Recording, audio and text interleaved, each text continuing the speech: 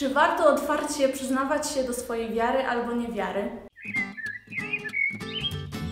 Moim gościem jest dzisiaj Jerzy Sosnowski, dziennikarz i publicysta, kiedyś dziennikarz radiowej Trójki, który w różnych momentach przyznawał się do różnych etapów swojej wiary. Wiary i niewiary chyba. Tak, tak dokładnie było. Dzień dobry, cześć. Rzeczywiście tak było, bo akurat tak się złożyło, że taka moja działalność publicystyczna w ścisłym sensie zaczęła się w momencie, kiedy ja byłem y, osobiście obrażony na Pana Boga. Teraz jak o tym myślę, to po, mm, tak powiedzieć, 30 latach prawie, to ja mam wrażenie, że, że ja do tego do, dociągnąłem do tego 27-28 roku życia na takiej y, wierze troszkę mm, dziecinnej, takiej to troszkę która się mm, jakoś rymowała z Kubusią Puchatkiem. Natomiast, natomiast w pewnej chwili e, umarł nagle mój ojciec, tam się rozmaite rzeczy posypały mi w życiu. E, I ja sobie uświadomiłem, że, że taka opatrzność, która czuwa nad ludźmi, którzy starają się być poczciwi, to jest na zawracanie głowy. Tak naprawdę. no tak. E, A ponieważ miałem wrażenie, że taki głównie komunikat szedł z kościoła, więc się na kilkanaście lat odsunąłem i to była taka. Ja określałem się wtedy rozmaicie. Po latach myślę, że że naj, w miarę naj, naj, najsensowniejsze było określenie postkatolik. Bo to nie zostaje bez, bez śladu. Tak, tak, Natomiast, tak. natomiast post zdecydowanie. I potem miałem jakby kłopot w drugą stronę. To znaczy w pewnej chwili minęło lat 10, nawet trochę więcej. I jakoś okazało się, że y, z Bogiem, a w każdym razie z Bogiem, jakiego sobie wyobrażam, udało się dogadać znacznie szybciej niż z instytucją. I natknąłem się na to środowisko więzi, środowisko tego kwartalnika, wtedy, wtedy miesięcznika. A byłem postrzegany, pamiętam, że, że w tygodnik Niedziela nawet po, poświęcił mi chyba nie jedną notkę na temat tego, że to wróg kościoła Sosnowski z Gazety Wyborczej, to wiadomo. Z iloma rzeczami ja się tu też A na- ja nagle zacząłem, za, za, zacząłem pisywać więzi i też zacząłem, doszedłem do wniosku, że jakkolwiek w dalszym ciągu mam do instytucji i do poszczególnych księży masę zastrzeżeń, ale że ostatecznie to są spory w rodzinie tak naprawdę. No i coś musiałem zrobić z tym ciągnącym się za mną ogonem, że no tak, ale to przecież ten wróg kościoła Michnika. Nawet obserwując na Facebooku Twoje wpisy, no to widzę ludzi, którzy są zbulwersowani albo tym, że jesteś zbyt katolicki. Chyba to akurat częściej, ale też tych, którzy są oburzeni, że znam właśnie niekatolicki, bo jak to katolik i tak się zachowuje i jeszcze kiedyś pracował w wyborczej. Kiedy ja się jakoś tam związałem z, z tym środowiskiem tego katolicyzmu otwartego, to wiedziałem, bo to bo w moim domu rodzinnym tygodnik powszechny obok zresztą polityki, to były dwa takie pisma, które na pewno były cały czas. Podoba mi się to połączenie. W związku z tym ja mniej więcej wiedziałem, ja- jakie jest to środowisko, które właśnie wyznaczają tygodnik powszechny, znaki więź i że to środowisko obrywa równo z dwóch stron. To, że ja zacząłem też tak obrywać, to właściwie było wliczone w koszta imprezy. Znaczy, to zaczęło mnie ostatnio rzeczywiście bardzo drażnić w- ostatnich miesiącach. Zwłaszcza, że, y, ale to głównie dlatego, że ja przez y, na, naprawdę bardzo wiele lat rozumiałem rozdrażnienie ateistów w Polsce. I wydawało mi się, że oni mają prawo do formułowania bardzo ostro swoich opinii, bo rzeczywiście, y, zwłaszcza przy tym rozdaniu politycznym, nagle zaczęło się wydawać, że są obywatelami drugiej kategorii.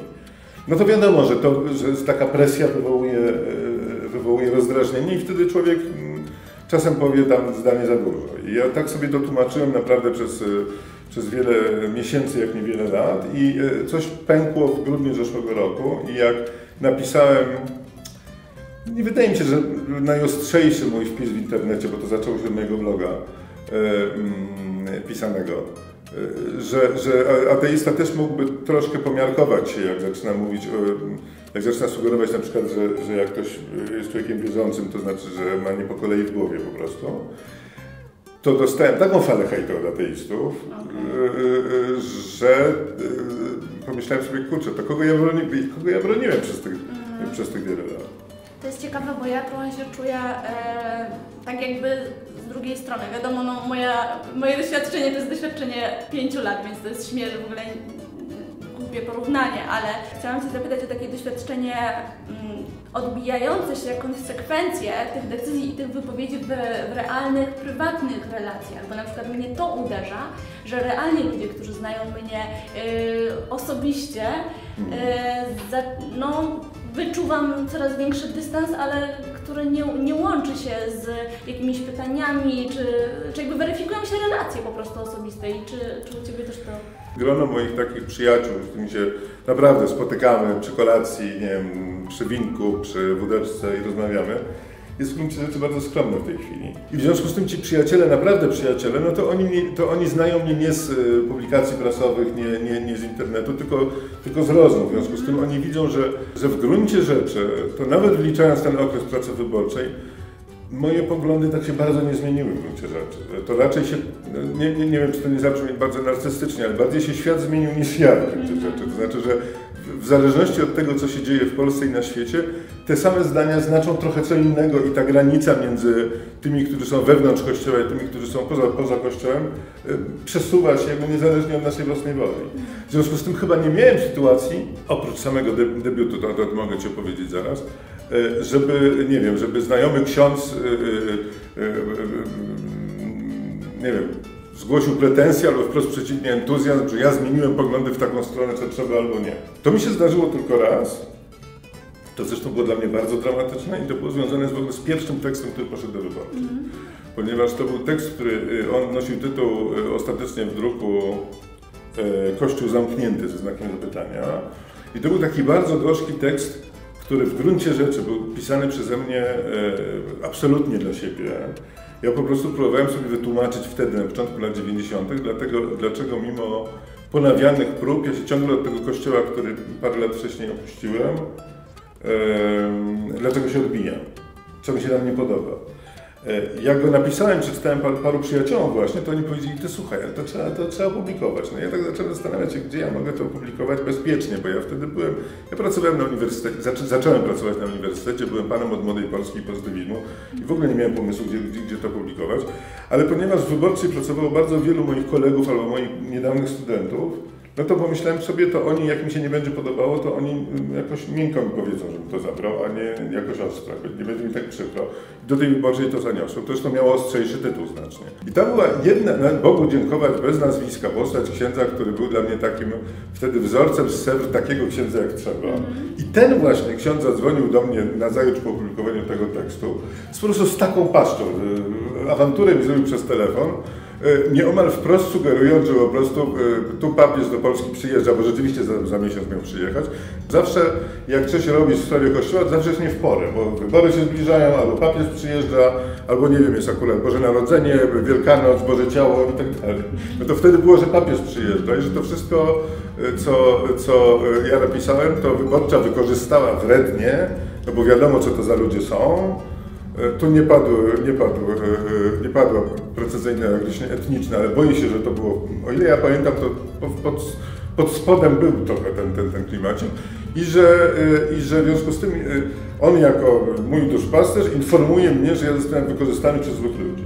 Ja pamiętam, że ja, tego, ja słuchałem tego ze zgorszeniem po prostu, znaczy, że, że, że on nie, w ogóle nic nie zrozumiał, jakby, ani sytuacji, ani z tego, co ja napisałem.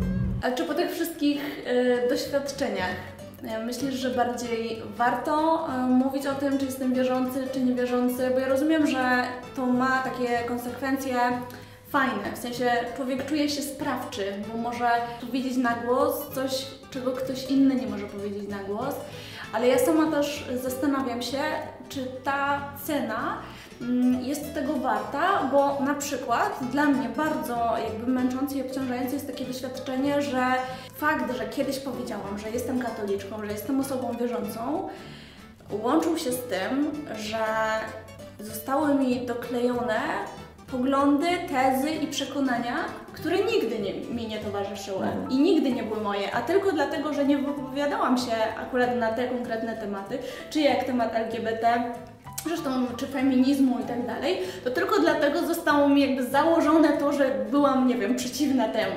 I nagle nastąpiła zmiana, bo zaczynam się na ten temat wypowiadać. Jest to dla mnie strasznie męczące i też sobie tak myślę, że w momencie, kiedy mówimy o tym, że ktoś jest niewierzący, to tak samo często jest zakładane, coś względem w ogóle, w ogóle przeciwnego. Wiesz, mnie się wydaje, że, że, zasadnicza kwestia jest, po co my, y, znaczy w jakich okolicznościach właściwie jest y, y, potrzeba, żeby się deklarować, nie? że jestem wierzący, jestem niewierzący. Mi się bardzo podobało, ja widziałem w jednym z Twoich filmików, jak na pytanie, czy miałaś w czasie studiów wśród znajomych wierzących czy niewierzących, miałem, nie, nie wiem, czy opisuję dokładnie tak, jak chciałeś, żeby to wypadło, ale miałem wrażenie, że ty wzruszyłaś się na mnie i powiedziałaś, ale ja nie pytam znajomych, jak jest. No tak, no. Bo to bez sensu.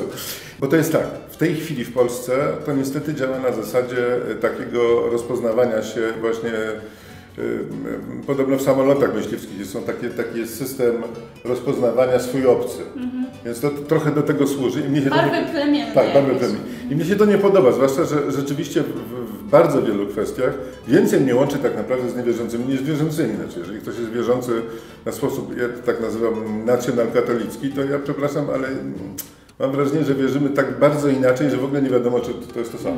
Ja zresztą lubię mówić, że, że, że, że świat się moim zdaniem w tej chwili dzieli nie tyle na wierzących i niewierzących, co na wierzących na pewno i, ma, i mających wątpliwości. Ja jestem w tej drugiej grupie.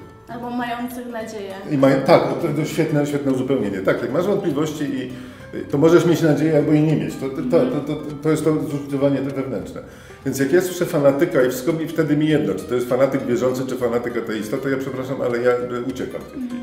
To mi się to w ogóle nie podoba. Więc z jednej strony to ja mam wrażenie, że, jak, że, że póki nie ma jakiejś naprawdę konieczności kontekstowej takiej, to ja, to ja bym się nie, nie deklarował, po, po, po co. No. Natomiast oczywiście zdarza się, że, że człowiek ma ochotę e, takiego coming outu, powiedziałbym, religi- religijnego e, e, się podjąć. Na przykład, kiedy ląduje w towarzystwie, które milcząco zakłada, że na przykład wszyscy wykształceni, inteligentni, elokwentni ludzie z dużych miast są niewierzący. To, to, to, to na przekór. Oczywiście ze świadomością, że się to dobrywa, nie? Znaczy, to, znaczy, albo się waży, wa- waży klimat, nie? Taki jeden się znalazł, co, co z nim zrobić, nie? Właściwie. Ale tak to ja, ja, ja, ja bym się czuł skrępowany, gdybym, e, nie wiem, sobie zaplanował, że, że mam na czole napisane, e, jak mnie ładnie określił ksiądz Luter z, z naszego środowiska ex post katolik, tak? To, to był postkatolikiem, a teraz jest ex post katolikiem, więc tak no, dwie, dwie negacje się znoszą w zasadzie. Tak? Wiesz co, no, ja mam wrażenie, że my i tak będziemy przez bliźnich y, jakoś identyfikowani, wkładani w te szufladki, że ty przed, przed tym nie uciekniesz moim zdaniem.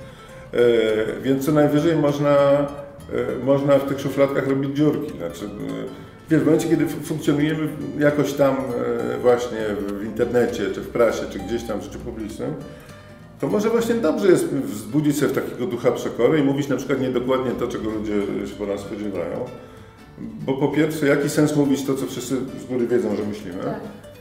A po drugie, e, a po drugie no jakiś ruch myśli jest wtedy, kiedy, kiedy ludzie mają jakiś kłopot. No, że właśnie Jola Szymańska katolicka, a bardzo fajnie broni e, e, Ewy, tej Elżbiety Podleśnej i, i, i, Matki Boskiej tęczową aureolą. No, profesor Zbigniew Mikołajko na przykład jest zdeklarowanym ateistą, a potrafi powiedzieć bardzo pięknie na temat, e, na, na, temat e, do- doświadczeń religijnych. Może by wtedy tak jakoś przekonywać ludzi, że to. No właśnie, że, że życie jest zawsze takie bardziej bulwiaste, rozrośnięte niż te ramki, w które próbujemy siebie i bliźnich wtykać. No i my jesteśmy bardziej złożeni niż się wydaje nawet czasem e, nam samym. No właśnie.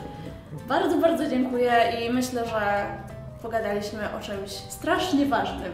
Nie wiedziałam, jak to sama ująć, więc cieszę się, że mogliśmy o tym porozmawiać i właściwie tak się właśnie czuję, że y, z, ze specjalistą w tym temacie Ach, porozmawiałam. prawda. Bardzo dziękuję. dziękuję. Zapraszamy Was też na kanał Więzi, y, kanał, y, który się nazywa Więź, po prostu, Tak. w liczbie pojedynczej. I tam możecie zobaczyć filmy e, Jerzego Sosnowskiego i też w ogóle na więź, bo można przeczytać tam e, fajne, mądre treści. Uprzedzamy i ostrzegamy, że jednak pokazujące pewną złożoność człowieka, tego wierzącego, niewierzącego, niedowierzającego. Staramy się. Zapraszamy Was tam. No i tyle. Do zobaczenia niebawem. Cześć. Do zobaczenia.